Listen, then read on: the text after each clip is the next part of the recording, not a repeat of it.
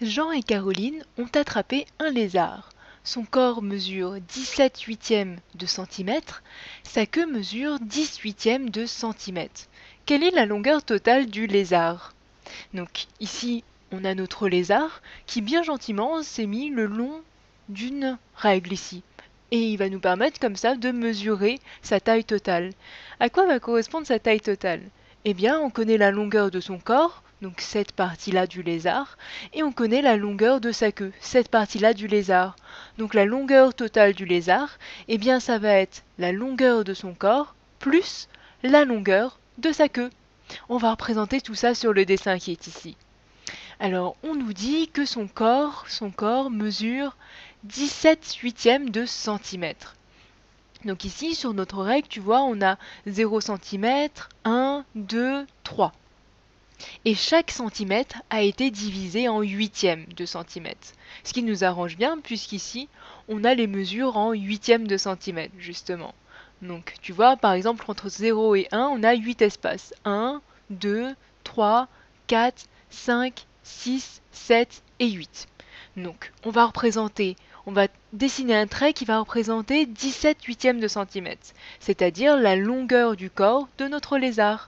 Alors notre lézard, il mesure 17 huitièmes de centimètre, donc ici, on commence là et ça fait 1 huitième, 2, 3, 4, 5, 6, 7, 8, 9, 10, 11, 12, 13, 14, 15, 16 et 17.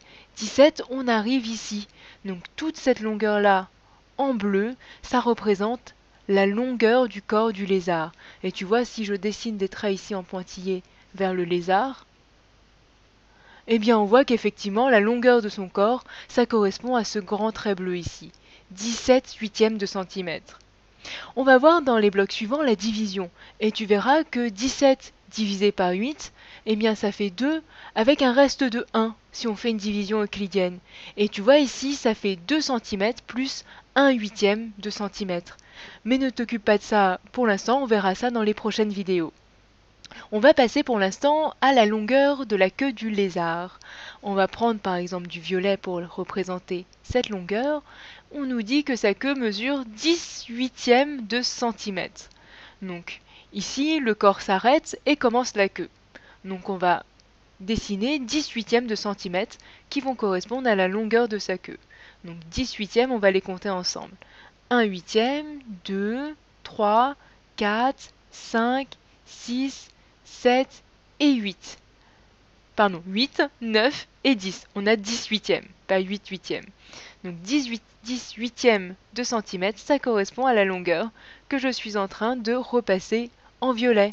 Et tu vois, si on poursuit les traits, donc ça représente cette partie-là, le début de la queue, et la fin de l'intervalle correspond à la fin de la queue. Donc ici, c'est 10 huitièmes de centimètre. Et on avait en bleu ici 17 huitièmes de centimètre. Pour obtenir la longueur totale du lézard, il faut qu'on additionne ces deux fractions, 17 huitièmes plus 10 huitièmes. On va calculer ça ensemble. On va prendre du vert comme le lézard. Alors, ce sont deux fractions qui ont le même dénominateur.